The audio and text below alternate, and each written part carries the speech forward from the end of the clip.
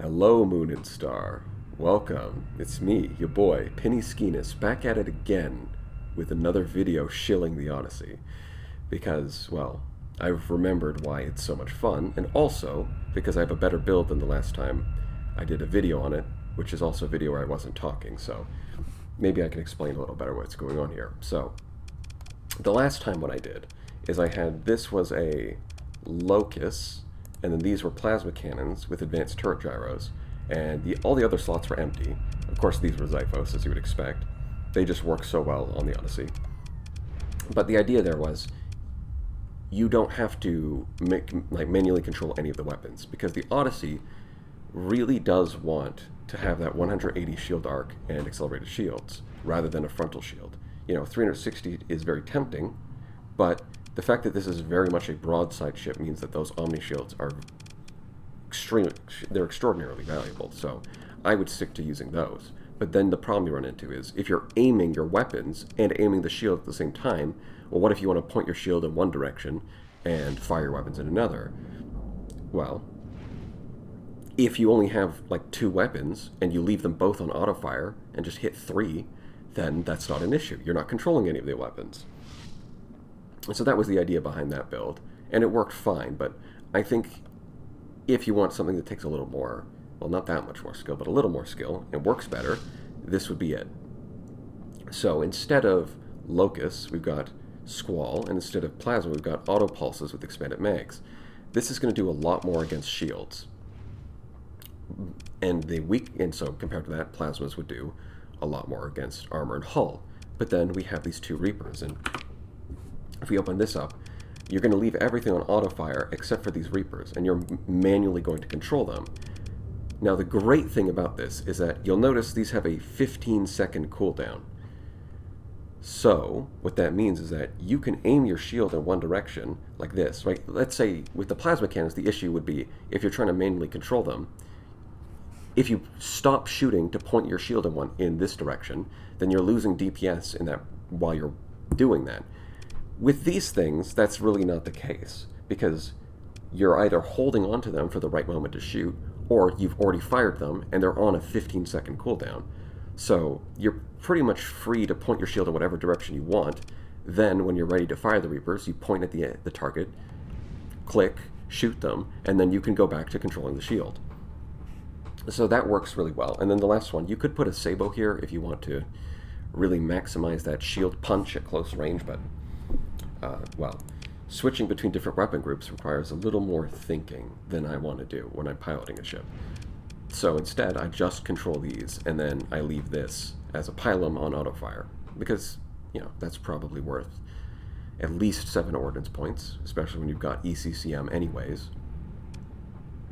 But, yeah, there's a few things that are important here. So, we've got missile racks, which is maybe not necessary for these things. Well, it depends. Because with the ammo buff that Typhoons are, it's so far it looks like Typhoons are going up to 7 shots per tube. Which means that with just missile racks or missile spec, one or the other, that's going to be 14 shots each. So this right here, that's 28 Reapers. That's a lot of Reapers. Like right now, if you have two Reaper tubes, and you have both missile spec and missile racks, that only that gets you 30. So you have almost the same amount, even though you skip either the missile racks or the missile specialization. Now, if you're in a longer fight, maybe you want a crazy amount like 42 Reapers, but usually that's, you know, usually that's not necessary.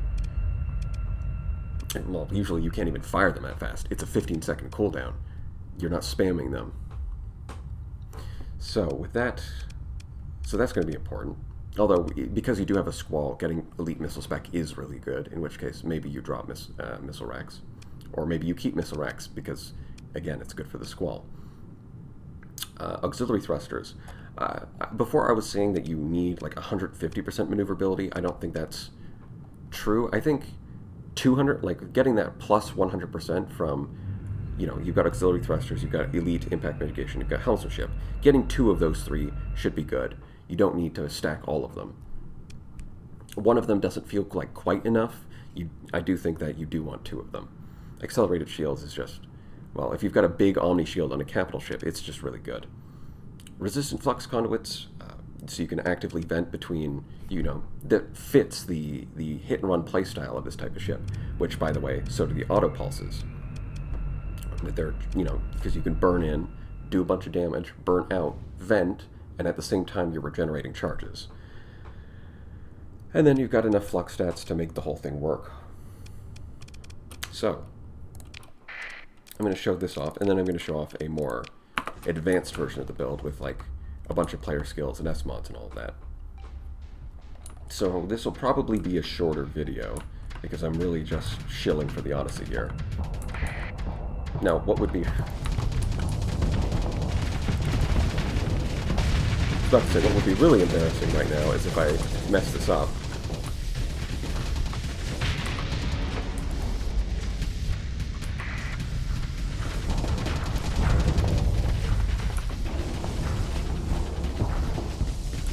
But you can see why Xiphos are kind of a given, right? You don't need to spend any more points on point defense unless you really want to make sure that your ship is staying perfectly safe, but for the most part they do their job, and four free ion beams, so they're pretty powerful.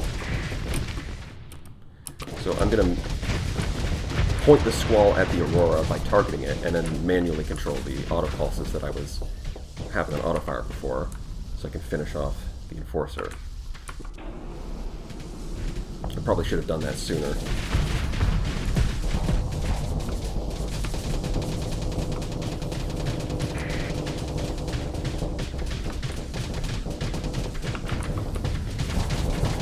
Yeah, as long as you pilot carefully, this is not difficult. Didn't quite save that for the right time, because you want to get the overload. Well, hopefully the first Reaper so that the second one can punch through its armor, but, you know, I, but you know, if you don't pull that off, it's still fine if you can at least get the overload with the second shot. So that's how you would do that. Now, things get a little more interesting with the advanced version because you can actually change what you do a little bit. Partly just because systems expertise completely transforms Plasma Burn. It makes it so much more useful. But Elite Helmsmanship is actually really, really interesting on this ship. So that zero flux boost activating at any flux level, if we look at the ship, what's generating flux? Well, it's not the fighters. These aren't going anywhere. We're not using engage. Okay, what about weapons? You can see I've got a few more ordnance points from building in targeting unit. Uh, right, I should talk about the changes to the ship itself. But first I want to talk about helmsmanship because I find this really interesting. Usually that zero flux bonus is not useful. There's a lot of ships where just, it's like, that's cool, but this isn't doing anything for me. This is a case where it really is, because even with these additional antimatter blasters, there's no point defense on this ship. So that means what's the, the only things that generate flux are these antimatter blasts, which are strike weapons, so they have very long cooldowns where they're not generating flux. Your shield, so if you're out, you're like at the edge of or out of enemy range, you can turn off your shield. And then these auto pulses, where even if you're in range to shoot at the enemy, you can shut them off and because they're charge-based weapons, you're not actually losing DPS. Right? It was assuming that you've already shot at the enemy a little bit. You can shut them off, and they'll store up those charges so you're not losing any of your DPS. And at the same time, you're stopping yourself from generating flux. So it becomes a lot easier to activate that zero flux boost, which can help you. I mean, that's 50 extra top speed and a bunch of extra maneuverability, so that's really useful. So, with S-mods, built-in hardened shields, because, well, that's just pretty good, especially when you've got 20,000 flux capacity. And then built in the targeting unit. Now, the reason I didn't build in missile racks is because it seems like it's going to have an SMOD penalty in the next patch, which slightly slows down missile rate of fire. You could argue that like a 20% rate of fire penalty won't matter too much because, yeah, it'll de decrease Squall DPS, but it also means the Squall lasts longer. It is on auto fire. And yeah, it slows down the Reaper cooldown a little bit, but they already have a very long cooldown. So does that really matter that much? Well, you could you could so you could the idea is instead of building in your targeting unit, you build in missile racks, which gives you five extra ordnance points, but that comes at the cost of a slight penalty to missile rate of fire. It's a lot of people freaked out about that announcement, but honestly, it's really not a big deal, even on capital ships. Like just, if you really hate it that much, just build in a 25 point mod instead. You've given up five points. Big deal. It's a capital ship. And in exchange, you avoid the penalty. Now, otherwise, this is mostly the same, but now we've got solar shielding because, well, you're probably going to take solar shielding in the later game, partly to deal with remnants and partly because you can stack it on your entire fleet and just ride through hyperstorms and use them as a speed boost instead of a instead of an obstacle. You're just taking because you know you see this reduces the effect of not only solar corona, but this, it has the same effect against hyperspace storms. 75% reduced damage from them so it turns it down to basically nothing. And then the other thing that I've added here is unstable injectors. Now, even with that 15% range penalty, you still want your targeting unit, right? If you have unstable injectors, the difference between that's the difference between 85% range with the injector by itself versus 136% range. That's pretty big. You still want your targeting unit. Don't skip it. But of course, you could say, well, why bring the unstable injectors? The range penalty is pretty big. I find that the 15 extra top speed is pretty useful. I mean, look at this. We've got elite helmsmanship, we've got max combat readiness, and unstable injectors. Well, now we've got a top speed of 104 on a capital ship, plus plasma burn and systems expertise. This thing can move. This thing can really move. Now, you can boost this further by getting nav rating as well, which would be, well, you can get up to the point where you're faster than a lot of destroyers, or you, can actually be up at the speed of some of the slowest frigates as well, eh, before plasma burn. So that can be quite the monster when you've got three large slots and a bunch of strike weapons as well. Is there anything else I have to say about this? Not really. I mean, the fighter replacement time doesn't matter too much, because these are sitting around. And so, with the extra right? With you see the extra flux because we have elite energy weapon mastery. That means that this number looks scarier once you slap on these antimatter blasters, but because we're generating less flux, it's actually manageable. It's not as bad as it looks, which allows us to afford these extra weapons. And then the other thing is the damage bonus from energy weapon mastery scales off of, well, the tooltip's not showing up, but it scales off of your range. So if they're further away, then you're losing some of that bonus. So while unstable injectors, the range penalty is a bad thing, but at the same time, it does mean that your auto fire is not shooting as far away, which means that you're getting more of that damage bonus. I wouldn't, you know, deliberately reduce your range to do that, but if you're getting unstable injectors anyways for that speed penalty, or speed bonus, then that's kind of a nice little, uh, it's a nice little thing that kind of mitigates the downside a little bit. But overall, I I do have to like manually set up. So if you try to auto assign, it's kind of well, that's kind of a mess. So we're going to cancel that. Instead, you, I like to have antimatter blasters on one, typhoons on two, leave them alternating, and then three auto pulse, four Pilum, five squall, leave them on auto fire. And so I can show you what that looks like by throwing down a bunch of ships because it kind of, well, it doesn't matter to a, a, large extent. Look how, look how well this thing moves. This thing is graceful like a swan. And, you know, you can just throw in a ton of ships, really. And as long as you're careful, you can basically take out any number of ships because, well, that's embarrassing. You can basically take out any number of ships because you can just rely on hit and run tactics, and there's not a lot they can do about it, at least in the simulator. You just use uh, Plasma Burn to dodge that fairly easy. And you'll notice that I... Well, was I using it there? Well, hold on, I'll, I'll probably talk about it as I use it next. Right, instead of venting, what you can do is just turn off your shield, get that zero flux boost, and let your natural dissipation get rid of the flux. And at the same time, your squall can continue firing because you're not, you know, if you if you vent, you interrupt that. So you're getting, right, and if also when you're venting, you lose the zero flux boost. So see, I get the extra speed and maneuverability, I'm firing my squall, and my flux is dissipating all at the same time. And so that's where the uh, the elite bonus of helmetship is actually really good on this ship.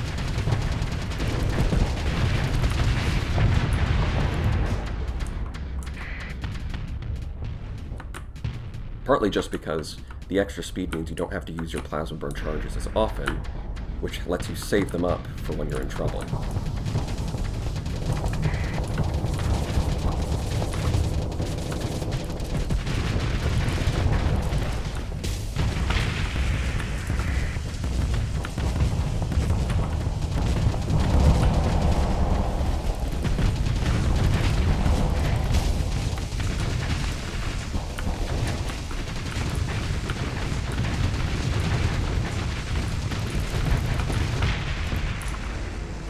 There's that. I'll also take this over and fight the hegemony a little bit.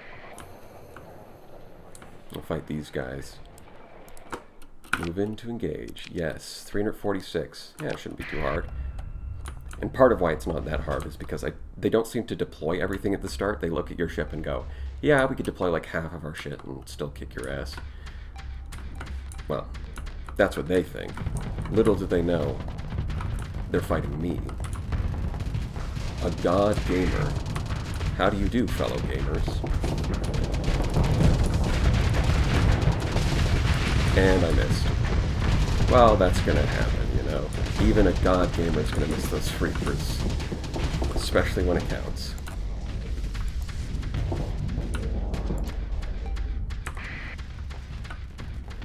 And again, elite helmsmanship right here. Although the, the Pilum spam is going to be a little annoying here. And also these things. Scheisse. Come on. Wait, I hit that? Alright. Let's do this. You can see they haven't even deployed the onslaught. Because the AI has assumed it's not going to need it. But it'll come. It'll come out eventually. Just you wait.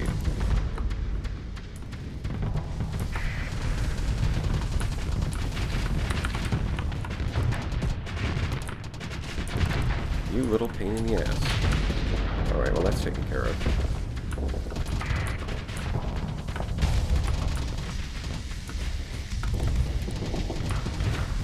Oh, that got shot down? Damn. Huh. Oops, I did not mean to overload there. I should have, uh, I was intending to turn off my shield as the squall, as the, uh, Sabot came in, but I missed the timing. Now, Elite Systems Expertise does make the overload shorter, which is handy.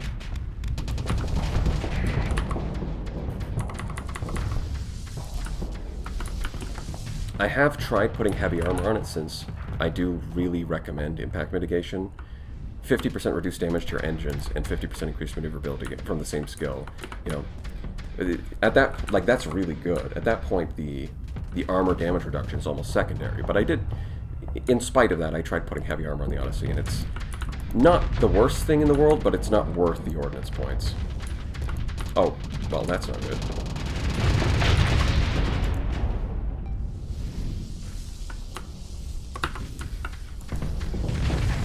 Ow. Well, I mean, the Odyssey might be, or the, uh, that might be a level 7 officer in, in the Onslaught, but, I mean, if it's alone, it's not going to beat an Odyssey. Not the player piloted one.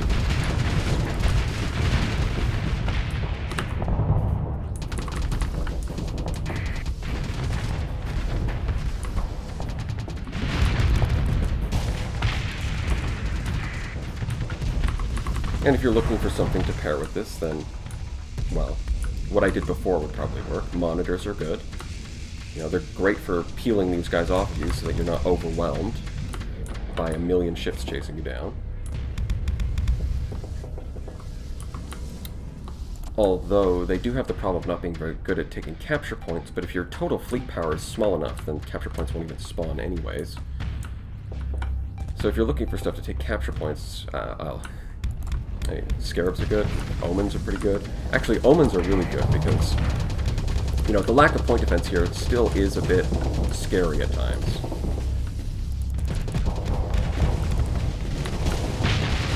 Oh shit. I got way too... Well, that's tunnel vision for you. I was like, yes, I can kill the monitor. Okay, hold on. Let me try that again. That's that's totally doable. See, don't tunnel vision. Tunnel vision gets you killed. Although you probably already know that from first-hand experience, if I had to guess. If you've been playing this game enough, it's happened. Alright, let's see if I can handle this a little more elegantly.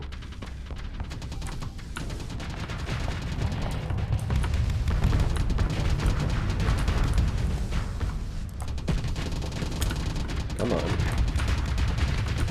Come here, little guy. Oh, right, that's another thing that uh, you can do with smaller ships in particular, is you can just ram them with plasma burn if they're in front of you.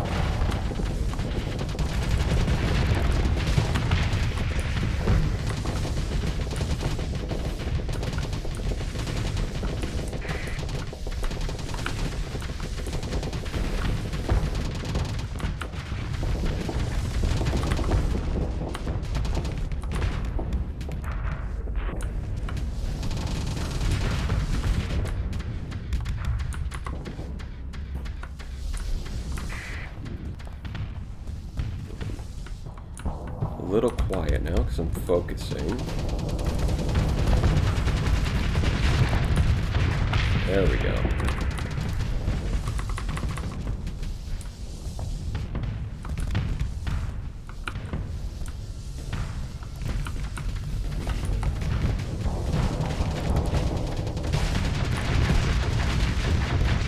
Missed the enemy blaster shot. Very nice.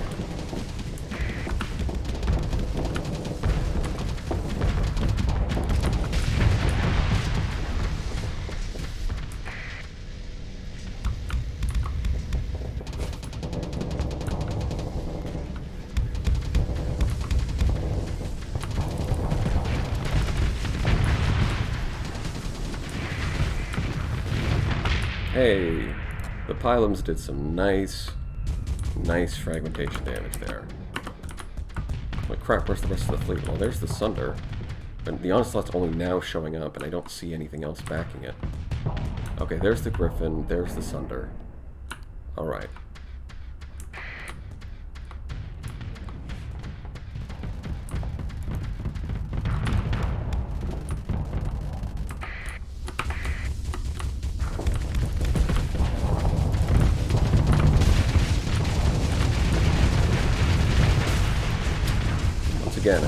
Chuck that off and take a few hits just as I was about to overload, but I didn't quite get the timing on that.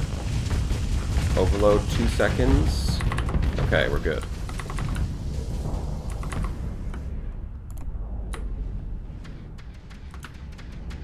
And yeah, I'm just going to let the Zero Flux boost kick in from Helmsmanship and run away here while I save up my charges.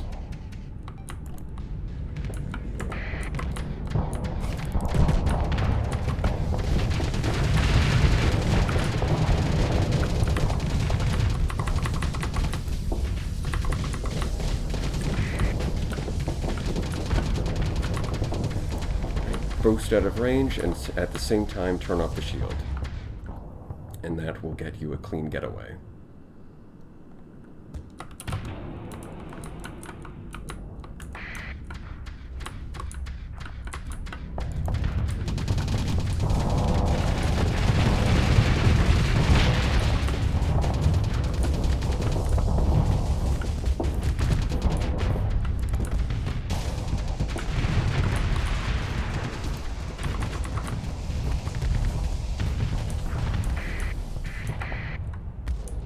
Alright, looks like I'm redeeming myself here. I can do it.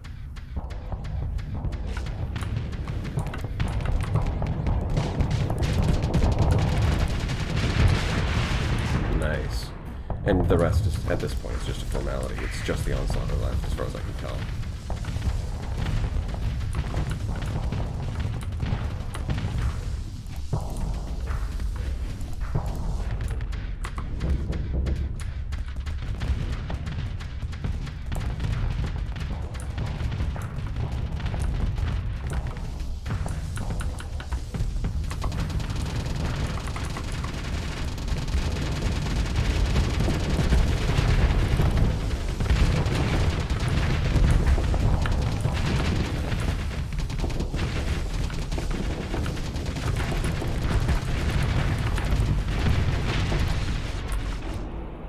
That should do it. And, oh, those are going to say they retreated. Yeah, so that's about it. See ya.